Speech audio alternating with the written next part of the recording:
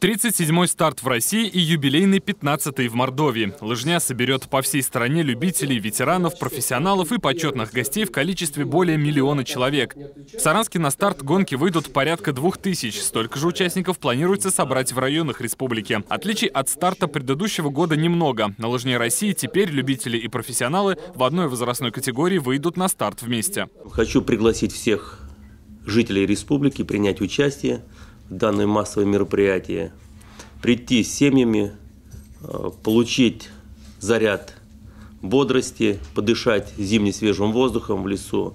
Ну и каждый уверенно может сказать, я вместе со всей Россией принял участие в данном мероприятии. Начало гонки ровно в 12 часов. Первыми на дистанцию 3 километра выйдут юноши и девушки, а также почетные гости. Затем через полчаса наступит черед мужчин и женщин на дистанции 5 километров. Представители городской администрации предупреждают, что будет ограничено движение и стоянка автотранспорта по улице Энгельса от 4-й горбольницы до лыжно-биатлонного комплекса. Проживающим в этом районе следует возить с собой паспорт. С ним проезд к дому будет разрешен. Для участников лыжни России, кто прибудет на личном автотранспорте, будет расчищена парковка со стороны улицы Ульянова, рядом со стадионом Саранск.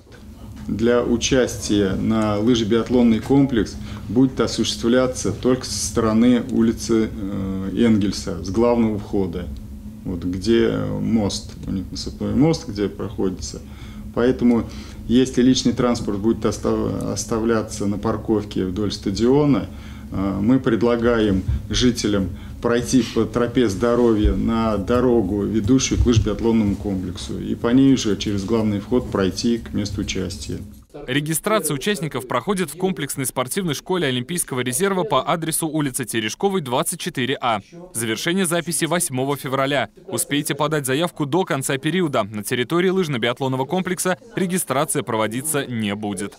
Никита Борискин, Владимир Наськин. Народные новости.